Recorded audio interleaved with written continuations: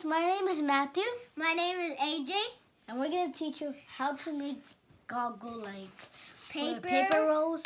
And then Yeah. all you're need, gonna need is paper rolls and some tape.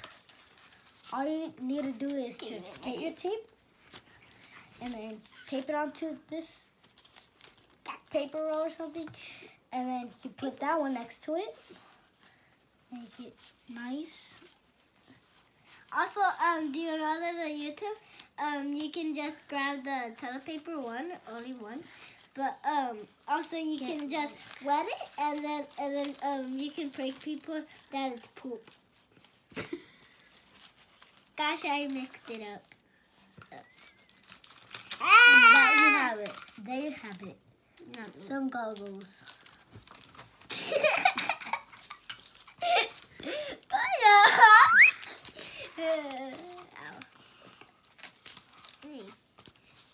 I need some new tape.